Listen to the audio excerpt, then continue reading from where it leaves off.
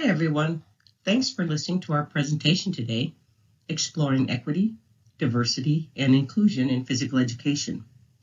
I'm Mary Thissen Milder, and I serve as a physical education specialist at the Minnesota Department of Education. I'm happy to be partnering with MNSHAPE and MnDAPE to support all the great physical education programs in our state. In the presentation today, we're going to define equity, diversity, and inclusion, or EDI, in physical education. Recognize what culturally relevant instruction looks like. Share some strategies physical educators are using to ensure inclusive classrooms, and identify a few resources. This slide identifies the 10 commitments to equity that apply to all Minnesota state agencies.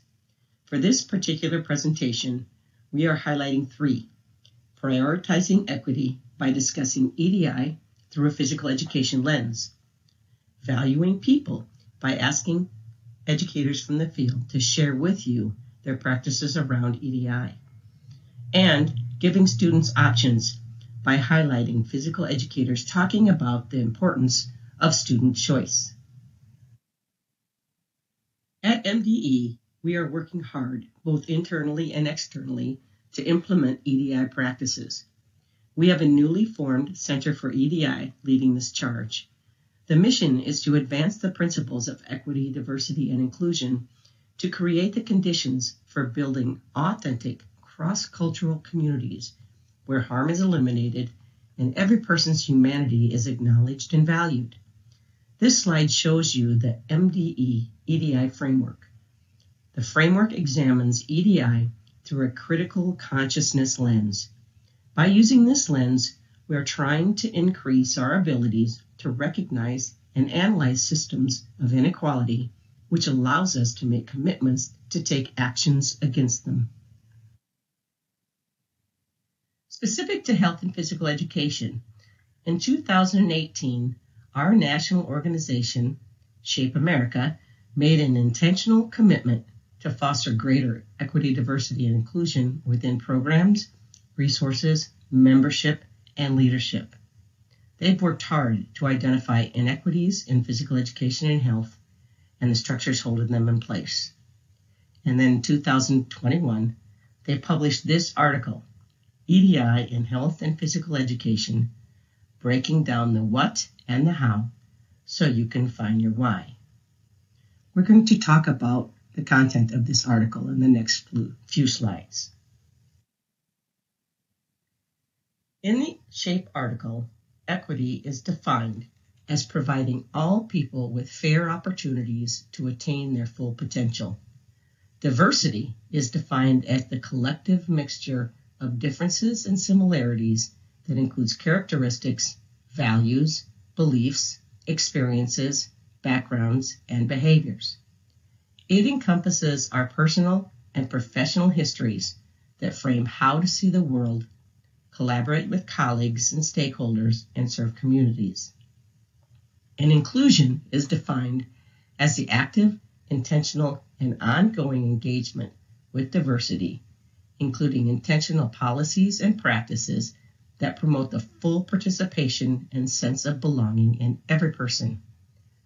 The thing we should all keep in mind is that equity, diversity, and inclusion are interrelated, and all three are vital to create a sense of belonging both for students in the classroom and for educators in the field.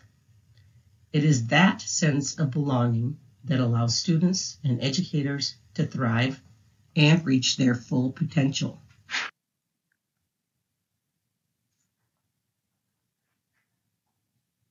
The SHAPE article identified inequities in physical education and health education through a roundtable discussion with K 12 health and physical educators, higher education instructors, and leaders from state affiliates, school districts, and state departments of education.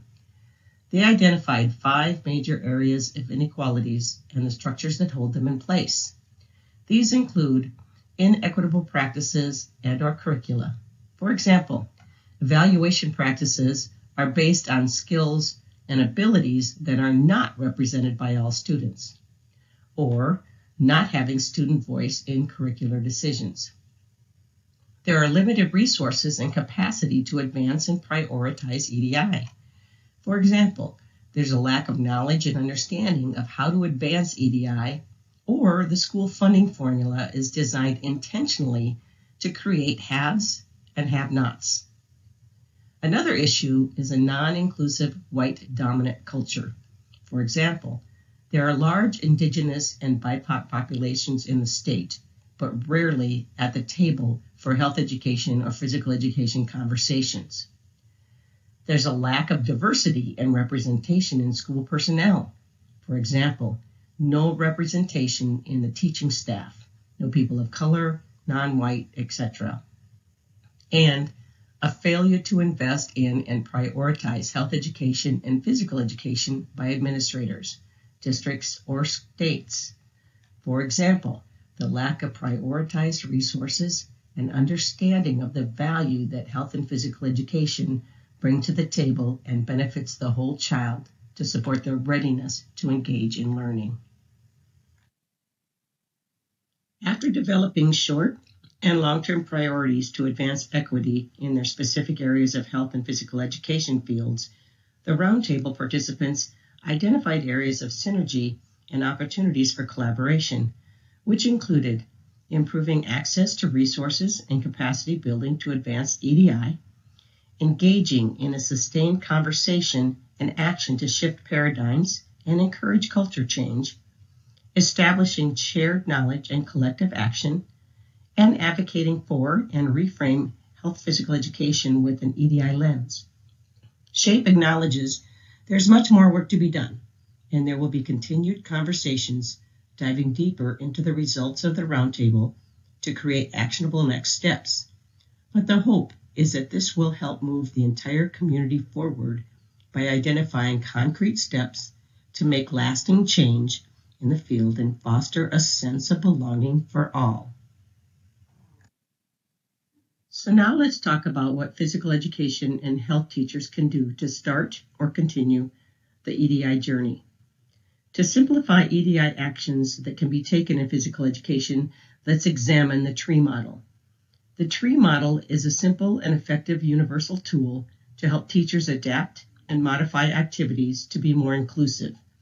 The letters of tree identify the strategies. The T is for teaching style, the R is for rules, the first E is for equipment, and the second E is for environment. Let's dive into each a little deeper.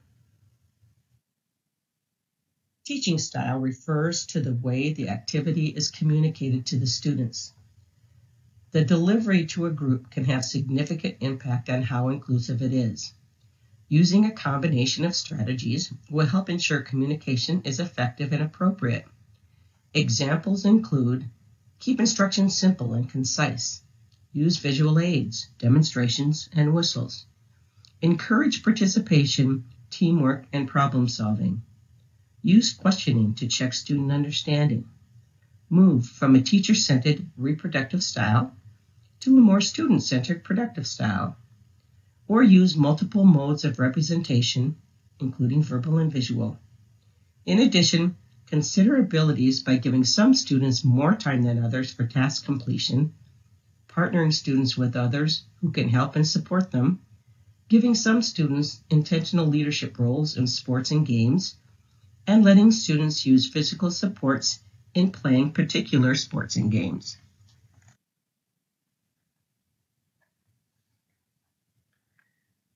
Rules. Some students may have difficulty understanding and following the rules of a game. Rules can be simplified or changed as needed and then reintroduced as their skill level increase. To support students, you can begin activities with only a few of the rules that are easy to remember. Gradually introduce the rules one at a time once students understand the pattern or flow of the activity. Try to minimize the time between giving instructions and starting the activity. Begin teaching the activities in slow motion, for example, using a slower moving ball or restricting player movements. And instead of using official rules, choose three primary rules that everyone in the class can follow. Utilize alternative equipment. Some examples include the choice of size or weight of the ball to increase or reduce the level of challenge, utilizing beanbags, Koosh balls, or paper and tape ball for bocce balls. Use balloons, beach balls, light plastic balls, or ropes with ribbons attached for a net for net games. Utilize balls with different densities, for example, wiffle or foam balls, light, plastic, or paddle bat for field games. Finally, use small soft cushion or sponge balls, deflated beach ball for target games. Creating an environment where all students feel safe, valued, and respected, cared for, and heard should be the goal of physical educators. Within such an environment is where students can flourish and develop the knowledge, skills, and dispositions to be healthy and active over the lifespan. When planning activities, remember to consider whether or not the playing area is suitable for the mobility levels of all students.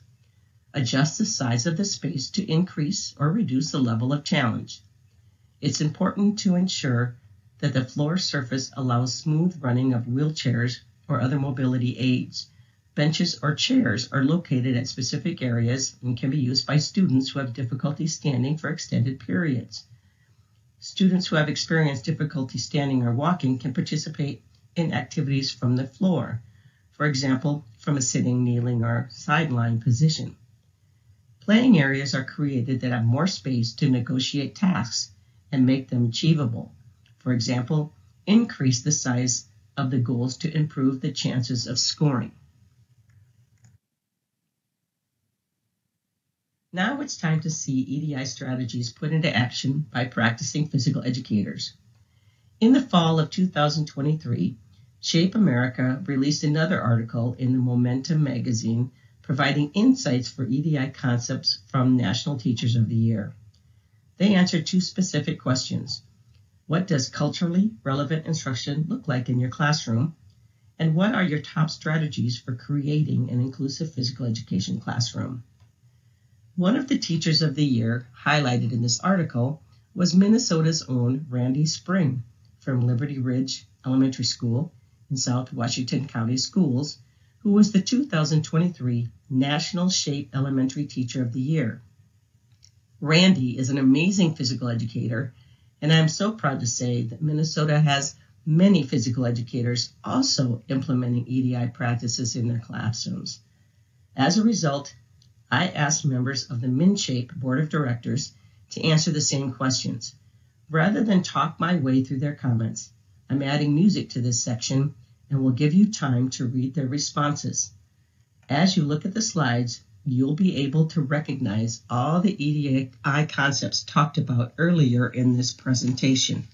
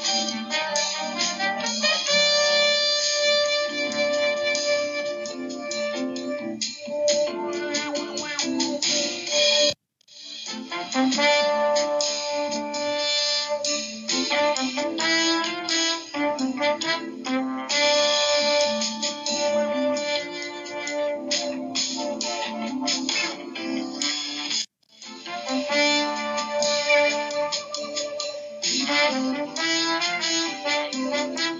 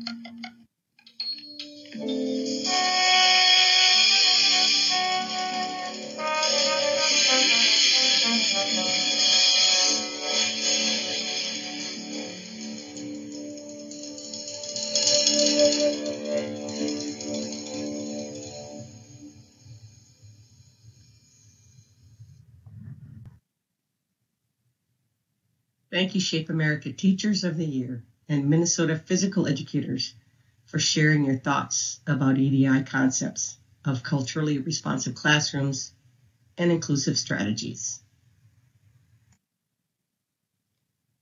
Now let's move on to a few EDI resources available to you. Shape America hosts an EDI podcast that explores a variety of topics relating to equity, diversity, and inclusion in health and physical education. Each episode features insightful interviews and discussions with invited guests. Some of the posted topics include an introduction to equity, diversity, and inclusion, educational equity, culturally relevant pedagogy, and what is social justice. You can find the podcasts on the Shape America website. Shape America's Health Moves Minds initiative contains standards aligned SEL focused lessons that can be easily incorporated into your existing health and physical education programs. The lessons are offered in the following grade bands K to 5, 6 to 8, and 9 to 12. You can take a sneak peek at a lesson from the Being Mindful, Being Kind unit for grades 3 to 5 at the Shape America website. Two additional articles are also available on the site entitled Reflections on Equity, Diversity, and Inclusion, and Why I Embrace a More Inclusive and Empathetic Teaching Style in Physical Education. To conclude this presentation, let me leave you with this thought. The reality is, the work of equity, diversity, and inclusion is a lifelong journey that requires us to bring our whole selves and whole experience into the conversation. Regardless of where we find ourselves on the continuum of learning about equity, diversity, and inclusion, we should be mindful of using an EDI lens in all we do.